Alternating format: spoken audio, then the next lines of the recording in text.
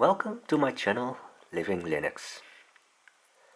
So I made a video on how to install the software to play Blu-ray and DVD on a Pinebook, Pinebook Pro and I realized that I did install uh, the encryption for Blu-ray but I didn't install it for DVD and apparently you do have to install it also separately for DVD last time I showed you I was able to play the DVD from Dune, that infamous widescreen release. And apparently that release was not protected so you don't need the encryption. Well you can ignore this message and just to show you we'll start VLC again.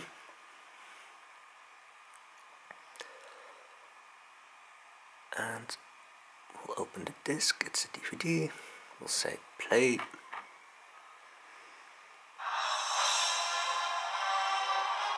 and there it is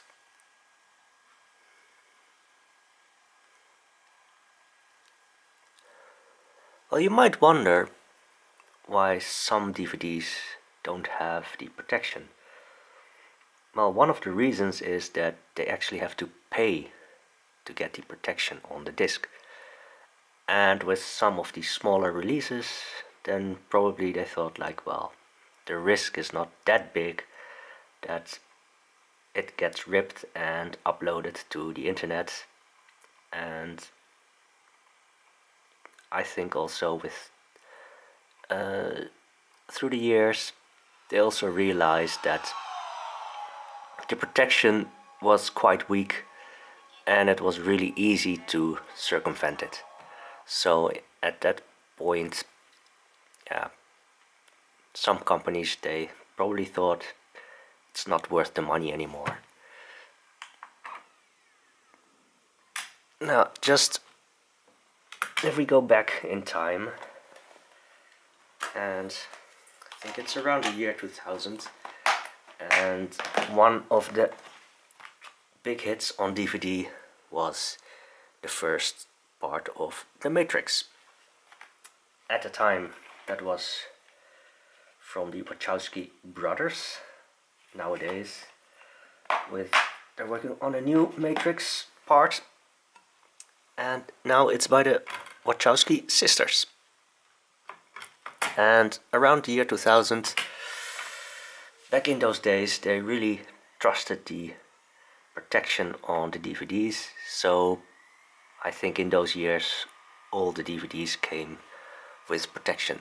Well this is not part of the protection I think that you can install the UDF file system to get rid of this message but it's not really that important.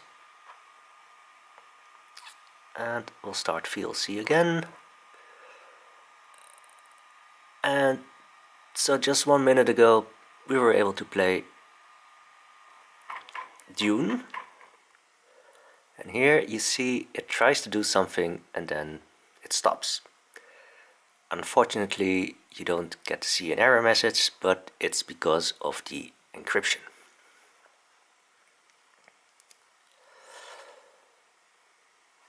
Now the people behind VLC they have a page where they tell you how to install libdvdcss so we'll follow the instructions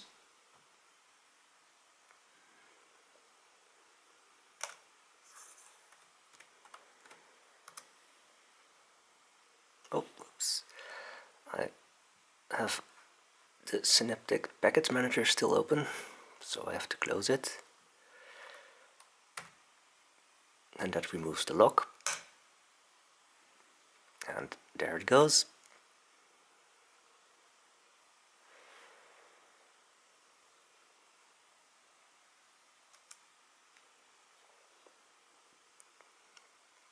Sure. We'll just click OK, OK. And as it said, oops,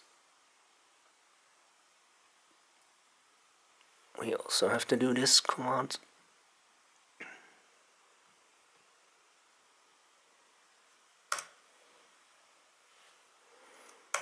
Yep, that's fine.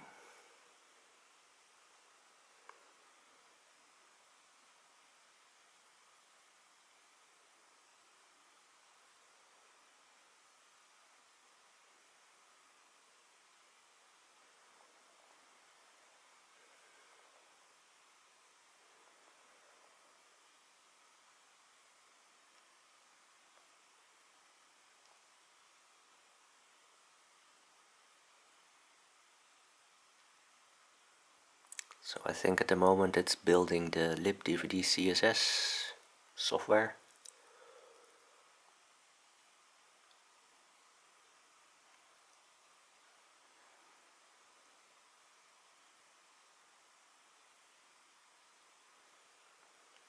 And it's done.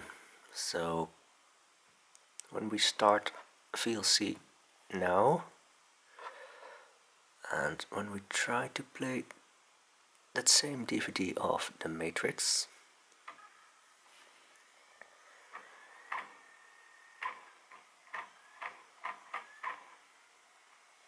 And now it does play.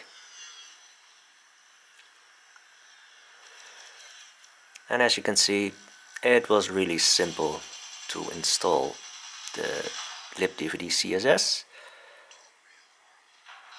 And now it should be possible to play all the DVDs that are available and play it without any problem on the Pinebook Pro. That's it for now and I hope to see you again in my next video.